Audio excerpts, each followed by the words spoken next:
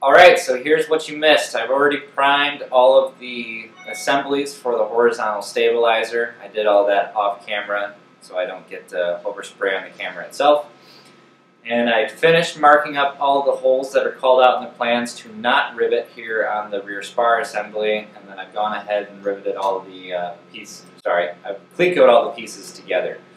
So now I'm going to go ahead, I'm going to review the plans, determine the correct rivet sizes, and we'll get started with final assembly for the rear spar.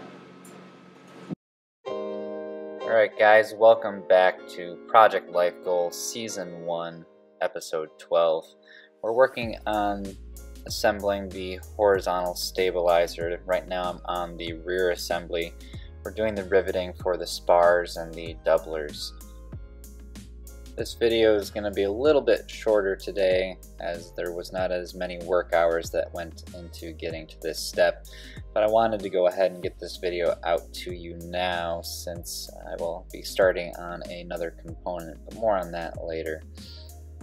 The riveting process for the rear spar assembly is much like that for the vertical stabilizer rear spar assembly just takes a little bit longer due to all the sheer number of rivets that you have to drive or squeeze in this case. A few more extra holes that you gotta dance around if you will, uh, just mark those out ahead of time. Uh, I used blue painter's tape and then marked what the hole actually was. That came in handy uh, a little bit later having spent that time to know exactly which ones the hinges go to and which ones were the ribs. So after I got the Numatx rivet squeezer dialed in and checked a few rivets. It was uh, mostly set and forget. we uh, just keep going through them. I was using the Longeron uh, squeezer yoke here just because it was much easier to get around the flange of the spar. You probably could have gotten away with just a normal uh, 3 inch yoke. Um, but I didn't even attempt it. I just went straight to the longer Longeron. It uh, seemed to be a, a, better choice just for making things easy. Yes, I've been enjoying the fact that the pneumatic squeezer is foot operated primarily. You can feather it, though it definitely does take some some practice and getting used to.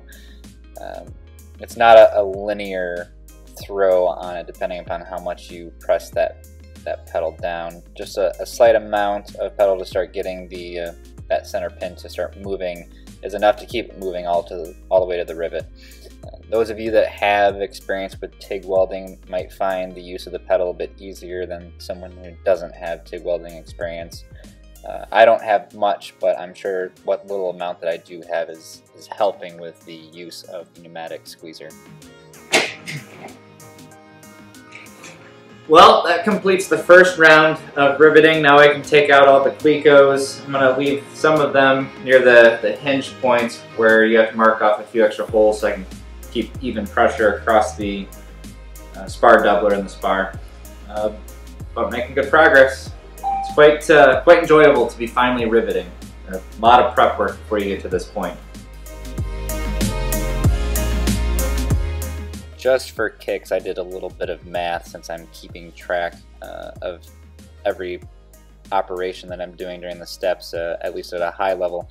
The riveting up to this point on my project has made up less than 10% of the build time for the project. Now, mind you, I have not done any riveting of the components to the skins, so that will inevitably help drive that number up, but you definitely spend a lot more time on all of the other processes, match drilling, deburring, etc. One of the things that I'm fairly confident I haven't mentioned to this point, and remember I have never used an air squeezer, so my only powered squeezer that I have any familiarity with is the Numatx squeezer. Having a set of shims to go between that center compression pin and your dies is definitely essential. I bought a, a little assortment that varies from 1 16th of an inch to 1 64th. I have not had to break out the uh, 1 64th shims. I've been okay with just the 1 16th and 1 32nds. And that was part of the problem that I was experiencing, but it was being amplified by the original Flexzilla airline hose that I was using. you need to have the, the throw on the pneumatic squeezer set fairly close to the optimal position. And so those shims become essential as the only two compression pins that are provided in the kit are uh, roughly a quarter inch difference in terms of length on them. So having that shim kit is absolutely necessary. So if you're looking at a Numatx uh, hand, uh, pneumatic squeezer and you don't already have a shim kit, make sure you pick one up as well as you will need that for quality riveting. Now that I'm getting a little bit more stick time, if you will, on the squeezer, I'm starting to learn how all the variables interact with each other to give you the ultimate result of how it's riveting. And uh, I'm playing around a little bit right now with where to have the regulator at the compressor set versus the regulator that I have right next to the pneumatic squeezer itself. Um, I'd added in that second regulator when I was trying to troubleshoot what was causing the issues I was experiencing. So now I just kind of finding the balance between those two. The compressor that I have is not very large. It's only a 5 gallon 2 horse compressor, but it's sufficient for the, the riveting using the hand squeezer. So I, I don't intend at this point at least to continue or to purchase a larger air compressor. I'll keep using the, the one that I already have and just find that balance between the, the two regulators. And now we're moving on to attaching the hinge brackets to the rear spar assembly. Process is very much the same as that on the vertical stabilizer, just quite a few more of them, at least twice as many. You do have to adjust the shims on the pneumatic squeezer, but I did not have to change the compression pin. I've very much been enjoying some of the conversations I've been having with you guys in the comment section, so make sure you uh, leave a comment below if you've got one or a suggestion. I'm a little curious, for those of you that are following along on the project, uh, leave a comment below. Let me know if you're currently considering a build of your own or if you're already in process of a build, whether it be a, a Van's or any other type of aircraft it's really honestly a, a, great community and it's part of what I'm really enjoying about the aviation community is all the wonderful conversations that I get to have. Learned so much from the previous knowledge that other people have already gained. It's been fantastic. And now we're moving on to the front spar assembly. A few more components that go into this one thanks to the service bulletin that occurred in the past. This definitely was the most challenging assembly to date. Uh, keep in mind that I did start off with the vertical stabilizer and I have not done the elevators or rudders yet depending upon when you started following along with my build process. Again, there are a few holes that you need to keep track of here on the front spar assembly that you will not be riveting at this stage, namely uh, for me the inboard rib attach points those are fairly obvious though since they are 3 seconds versus 1 8 rivets.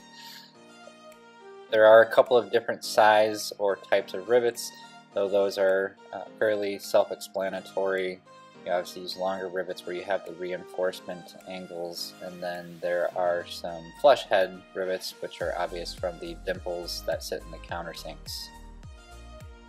I'd say the most challenging part of the riveting here on the front spar assembly has got to be how tight some of this is. There's uh, quite a few rivets in a very relatively small location here.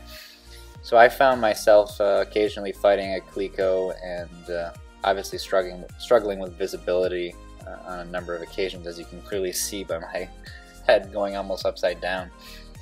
Uh, so you just got to move some of those Clecos back and forth as you go through. I've been trying to leave as many Clecos as possible. Uh, the rationale in my mind is to keep as even a, of a force applied to all the pieces during the riveting process. Let me know uh, how many rivet holes you normally skip and how that has worked out for you. Here I am uh, moving Clecos around, getting ready for the, the next rivets. I left in the Clecos for all of the rivets that only go between the doublers and the spars, since those are a different length.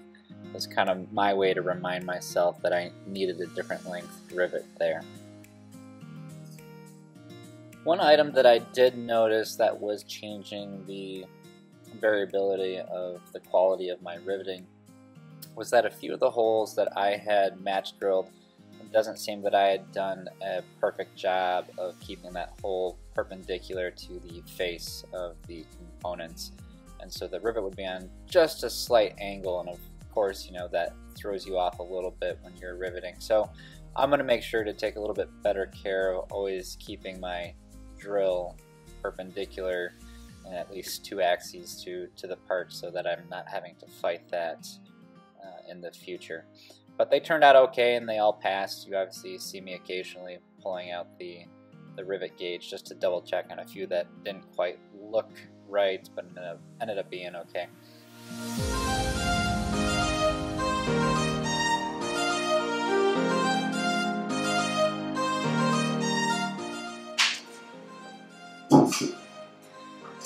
Alright guys, so that's as far as I can go on the front spar assembly for the horizontal stabilizer. The next step is to attach uh, HS5 and 6 to the front assembly, which I'm going to hold off on. It's not because I couldn't do it with the squeezer, but because I want to keep this piece easy to store, and I don't want to risk damage to those inboard ribs. So I'm going to stop here and I'm going to transition to either the rudder or the elevator. Leave a comment below of what you think that I should go to next since I can't attach skins yet since I'm still waiting on that rivet gun. Where we're at right now is 45 hours of build time, 53 hours of total project time, and another 23 hours of video editing. So we're moving along. I'm very much enjoying this process. And if you're enjoying my videos, go ahead and hit that like button for me. If you want to continue to follow along, subscribe and make sure you click that bell to get alerts. And as always, if you've got questions or comments, leave them below and I'll get to them. Thanks again, and I'll see you next time. Take care.